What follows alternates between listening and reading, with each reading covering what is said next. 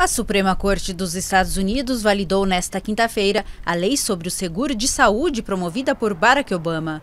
O presidente Obama comemorou a decisão da justiça e declarou que a medida é uma conquista para todos os americanos. A vitória de hoje é para os americanos que trabalham duro em todo o país e que terão uma vida mais segura com esta lei. A decisão significa que os 7 milhões de americanos que se beneficiam do programa através do site do governo têm direito a uma redução de impostos como os demais contribuintes. A validação da lei confirma que uma controversa ajuda fiscal está de acordo com a Constituição.